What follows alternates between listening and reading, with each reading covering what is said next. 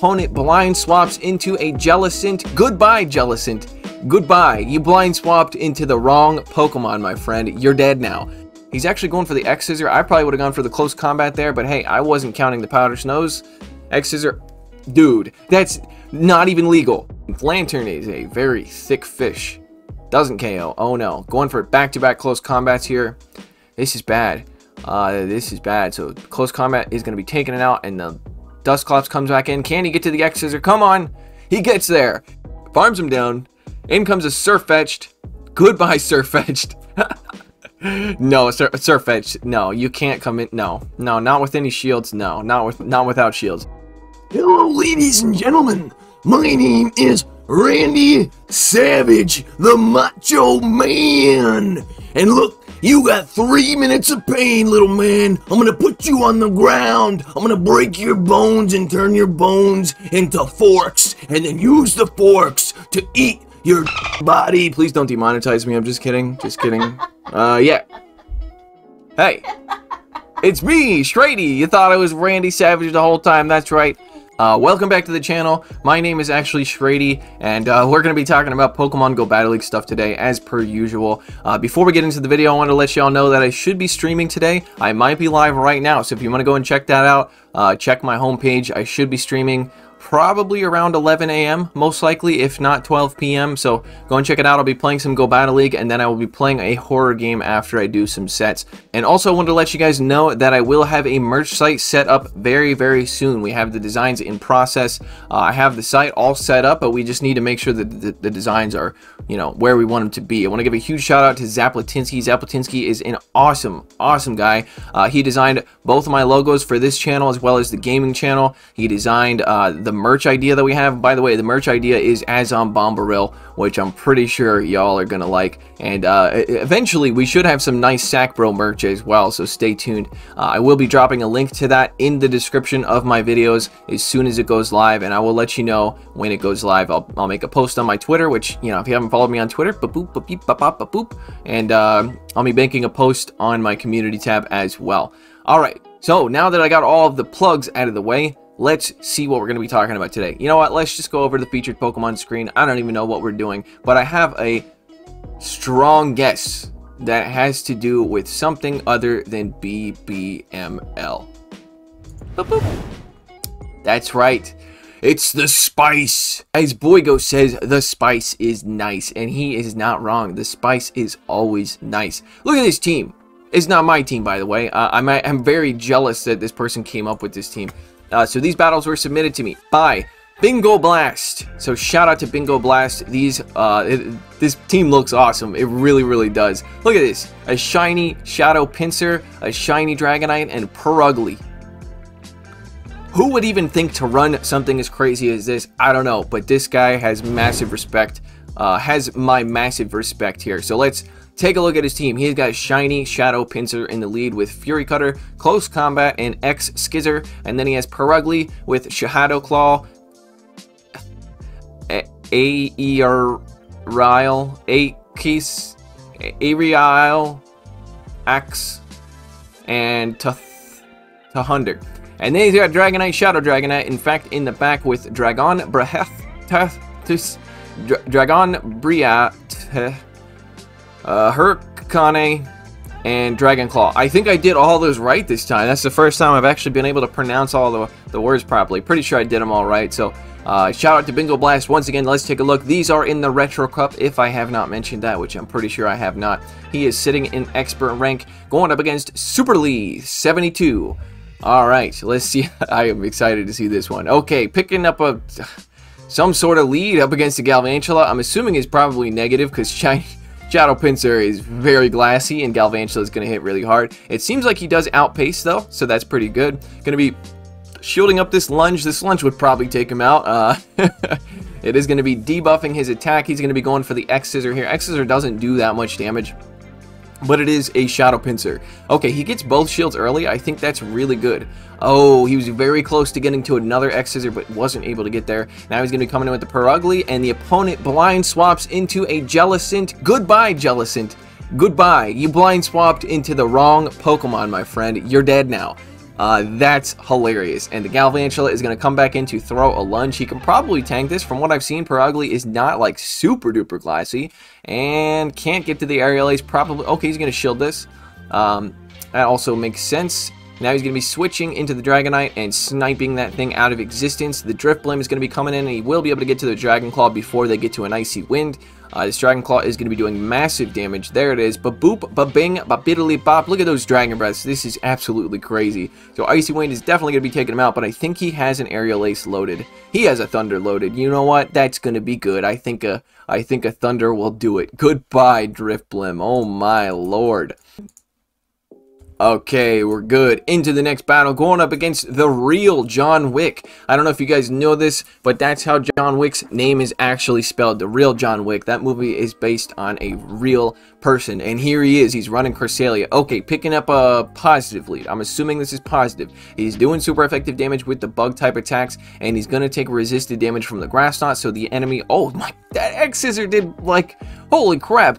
Uh, so if this is a Moonblast, it'll probably take him out. Okay, so he shields up the Moonblast. Very good shield. And the opponent switches into an Alolan Marowak. He's going to be coming in with the Purugly here. And uh, this is where normal types in this cup are going to do so well. Specifically, normal types that have ghost type attacks because they are very hard counters to ghosts. Look at this. He's doing super effective damage. The opponent is forced to go for uh, Bone Clubs here, which Bone Club is one of the crappiest moves in the game. And he's doing super effective damage with the Shadow Claw. Going to be going for the Aerial Ace here. In case they shield, this is a good shield baiting opportunity. Purugly doesn't have much for shield baiting. Going for the next Aerial Ace, he is going to go down to Fire Spin. So it looks like Purugly is a little less uh, tanky than I expected it to be. He gets both shields though. That's really good. Gets both shields. Now he can come in with the Dragonite here. Dragonite's going to be able to resist uh, everything except for the Shadow Bone, and the opponent is getting close to a Shadow Bone, so he's going to probably have to shield this, um, or call it. Okay, shields. I was going to say, I don't think they're going to bait because they're almost dead. Oh, the opponent gets the defense drop, unfortunately. This is hopefully a Bone Club, double resisted Bone Club. Okay, thank God, because he, uh, yeah, he would probably go down to a Shadow Bone after his defense fell. And there's an Abomasnow in the back. Okay, can he take out the Cresselia and the Abomasnow? I think he can, actually. I really do. He's going to be going for the X's, or this is going to be taking out the Cresselia.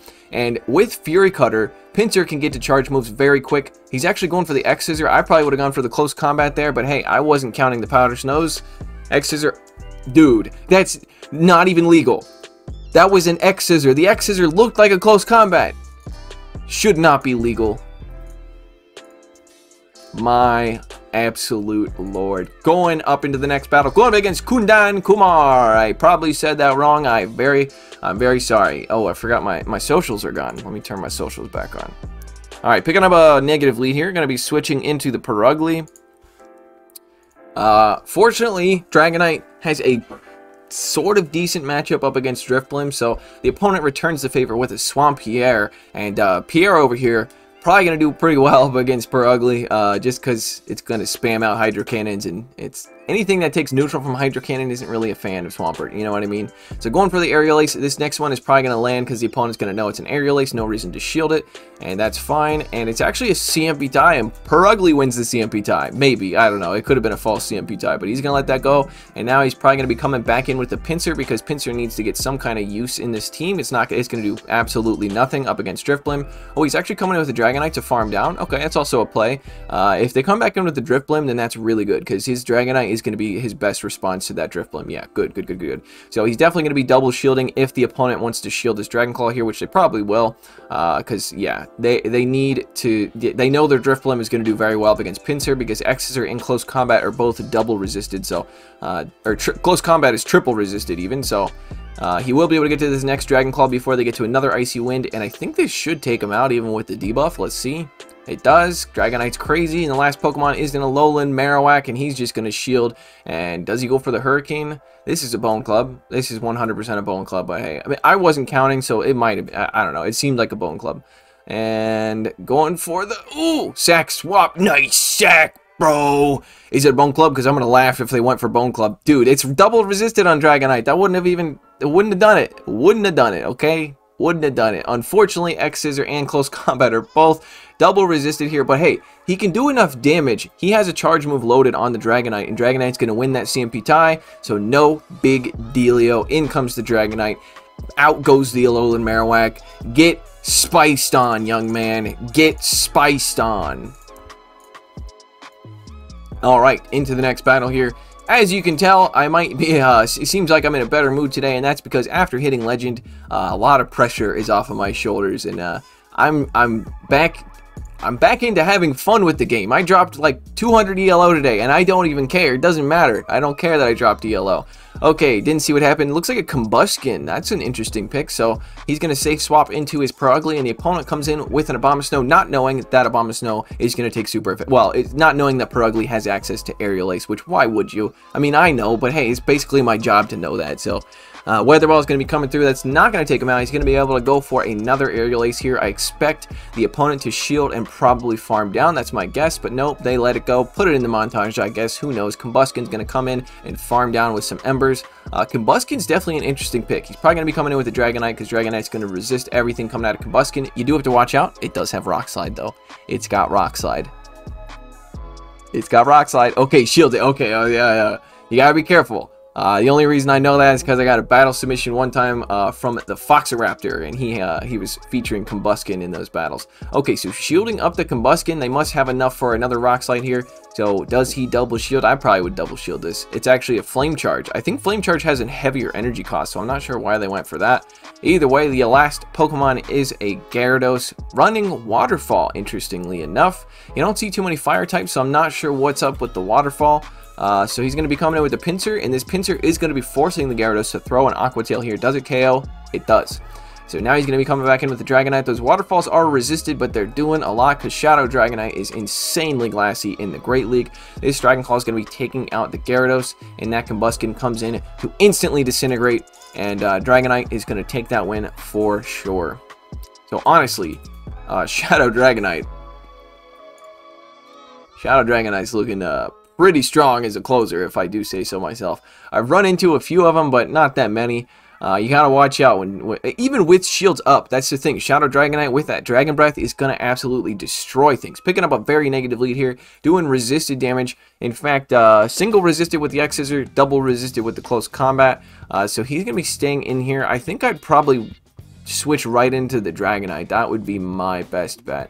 Uh, but he's going to stay in here, and I think I'd let this go, whatever it is. Hopefully it's a Bubble Beam, but no, it's a Shadow Ball. That's fine. Now he can come in with a Purugly, and if the opponent stays in here, that's really good. Because uh, all they can really do is either Bubble Beam or Ice Beam, and either one's not going to do that much. Ice Beam might hurt a little bit. Let's see if it's a Bubble Beam. It is an Ice Beam, so there you go. But he's going to be able to farm down. The opponent comes in with a Whiscash. Okay, this is a perfect opportunity to see exactly how much damage these Dragon Breaths do. Whiscash is a very tanky Mud Boy, and look at these Dragon Breaths adding up so, so so quickly. So he's going to be coming in here, and uh, I might even let this go, because... Okay, he's going to shield it. I was going to say, because uh, cause the Purugly can farm... I don't know, maybe it's smart to... Alright, he's going to let this second one come through. is this a Blizzard? It's just another Mud Bomb. I think if you're going to bait the Mud Bomb, then you want to go for the Blizzard afterwards. Maybe they couldn't get there, because that Dragon Breath damage is pretty oppressive. Okay, so there is a uh, uh, an Altaria in the back, which is a big problem, big problemo, is what I'm trying to say here. Does he win this? How does he win this? This is not possible.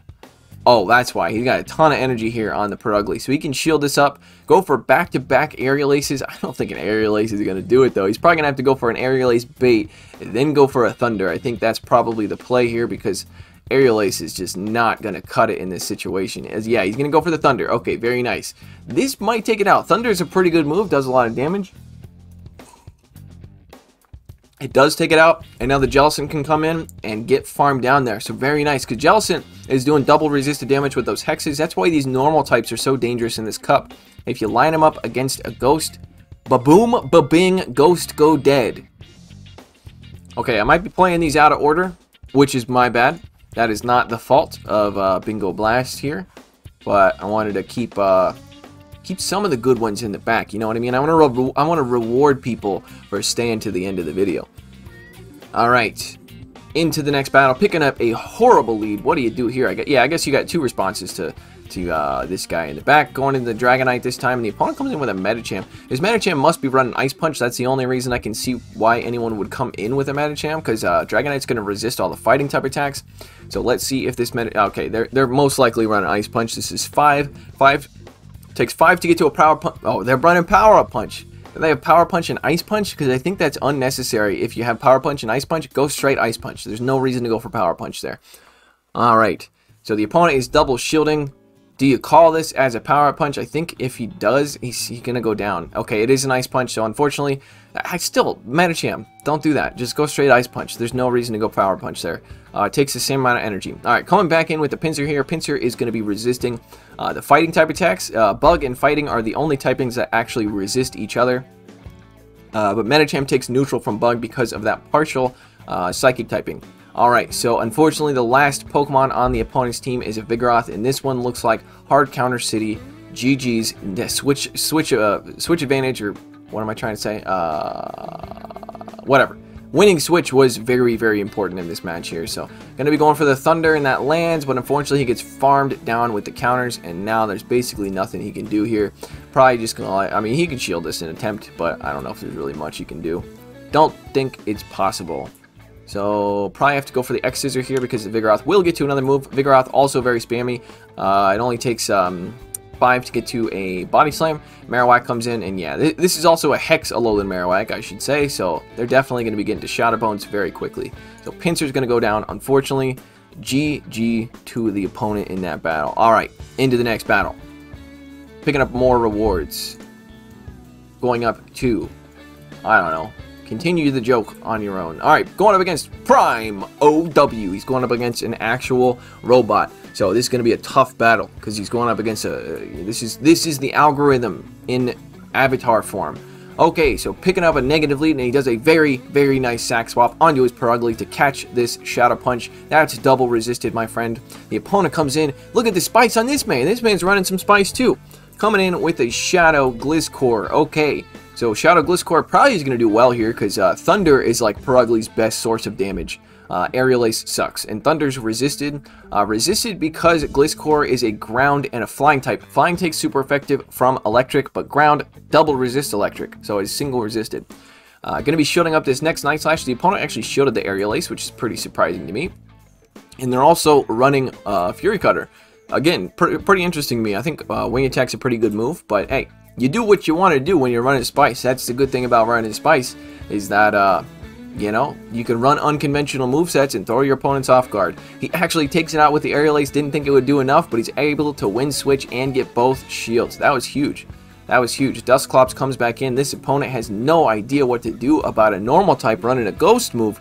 What? Normal type running a ghost move, it's almost like this is the retro cup or something. Alright, coming in with the Dragonite here, he does have to watch out because this Dusclops is going to get to ice punches very quickly. Uh, so I might even attempt to catch here.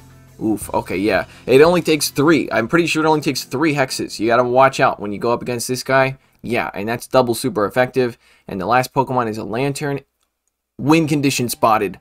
Wait, is this close combat KO? I mean, Lanturn is a very thick fish. Doesn't KO. Oh no. Going for back-to-back -back close combats here. This is bad. Uh, this is bad. So close combat is going to be taking it out, and the Dusclops comes back in. Can he get to the X Scissor? Come on! He gets there. He gets there even with the four times defense debuff because of those two close combats, able to survive the hexes for long enough to take out the Dusclops. That was insane. That was a good one. That was a real good one. Eight. Alright, we got three more three more battles. Going up against the Cradily ruler. You better have Cradily on your team, my friend. Because uh, if you don't, then you need to change your name ASAP. Alright, picking up a negative lead once again. Let's see how he plays it. Switching into the Purugly. I think in the, I think in this case I might even switch into the Dragonite because Dragonite, like I said, has a pretty good matchup even though Icy Wind KOs uh, because it's just the Dragon Breath is so nuts. Uh, and then, yeah, and then you can hope to align the Purugly with the Drifblim later.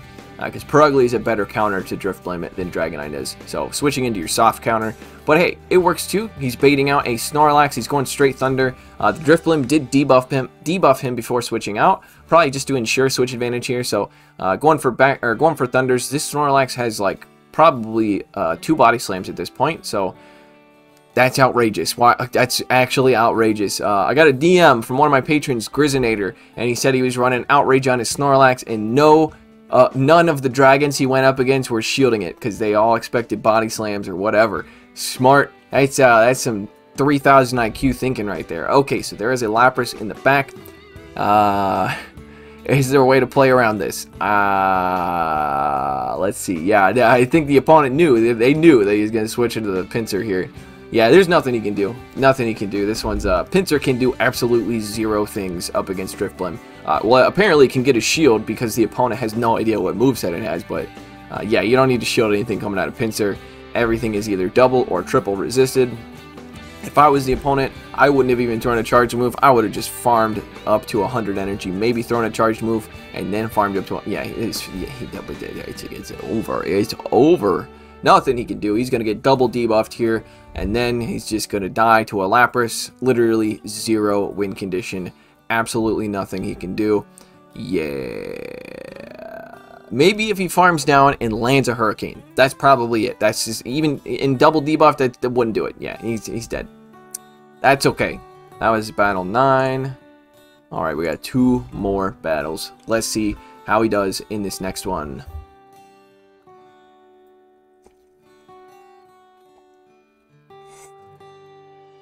Going up against Dr. Nemo, 8282. Uh, little fish Nemo grew up and turned into a doctor. Whoa, it's crazy. Okay. So yeah, his parents must be so proud. Isn't his mom dead or something like that? I don't know. Wait, wait I thought it, I thought his mom was dead. I, I don't remember. Okay, okay. Yeah, it's a big oof on uh, little Nemo's part, but hey, he used his uh, pain to his advantage. He used his pain to, to become a doctor somehow. All right. No idea what I'm talking about, rambling about nothing. He gets a shield with the close combat, gets another shield with the Dragon Claw. This Vigoroth is flounging floundering. I don't know, a word. He's, he's doing something. Uh, so he gets both shields, and then he uh, takes shield advantage here, and probably going to come in and farm. I can, you could farm down with either one, but I think the Pinsir is a safer bet because you're going to resist the counters. Uh, probably could shield one of these. I think uh, I think it's probably worth the shield because Pinsir is so glassy. This is a glass cannon team right here. This is a glass cannon team. Okay, so next body slam coming through. Does he shield the next one? He does shield the next one. Going to be farming down with these fury cutters if the opponent lets him farms him down. In comes a Sirfetch'd. Goodbye, Sirfetch'd. no, Sir, Sirfetch'd. No, you can't come in. No, no, not with any shields. No, not with, not without shields. All right, and the last Pokemon, like we saw in the beginning, is a Hypno, and he's going to be coming in here and thundering the crap out of this Hypno. That's another good thing about these normal types is they also counter Psychic types. Very, very nice. In comes a, some kind of punch, doesn't really matter. It's not going to KO. He's going to farm down, and the opponent sees the writing on the wall and quits out.